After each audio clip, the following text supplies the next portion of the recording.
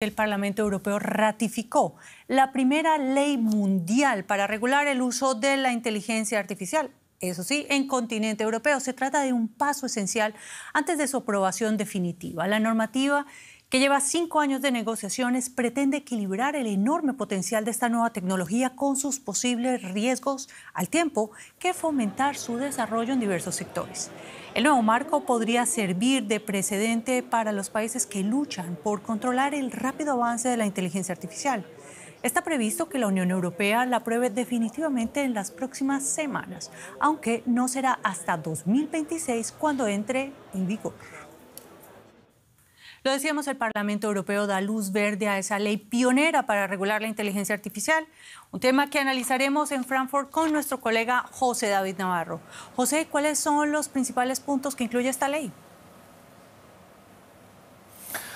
Hola Juliana, ¿qué tal? Bueno, uno de los puntos más eh, importantes es que para los sistemas eh, que impliquen mayor riesgo para la ciudadanía, esta ley obliga que antes las empresas eh, presenten un análisis de riesgo, un análisis del impacto que va a tener en la ciudadanía. Otro de los puntos más importantes es que esta ley prohíbe, por ejemplo, utilizar sistemas de inteligencia artificial para el reconocimiento facial y vigilar a, a los ciudadanos, a menos, Juliana, de que haya de por medio una autorización judicial. Además, en este proyecto de ley se incluye el proyecto de creación de una eh, agencia europea de inteligencia artificial que sería, Juliana, la que sería la encargada de aplicar las multas que pueden ir desde el 1,5% de la facturación global de la empresa que infrinja las normas hasta el 7% de la facturación. Las autoridades europeas hablan de una ley que es equilibrada entre la protección de los ciudadanos y y el permitir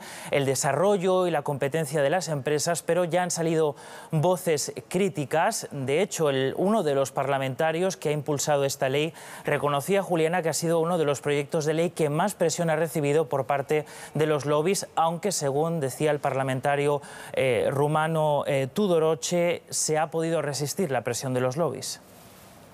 O sea, y es que esa presión no es de menospreciar y es que tenemos en cuenta que los líderes indiscutibles en este campo son dos empresas estadounidenses, OpenAI y Google. ¿Qué empresas europeas destacan en el campo de la inteligencia artificial y se benefician de esta ley, por ejemplo?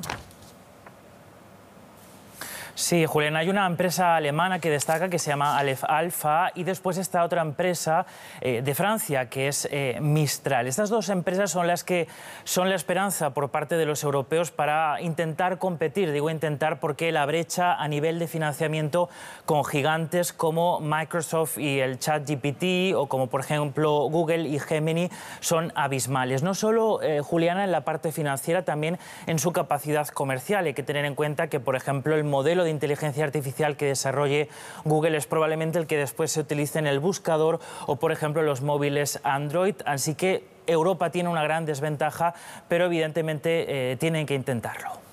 Por lo menos ahora tiene una ley pionera en la materia. Muchas gracias, José David Navarro, por estos análisis.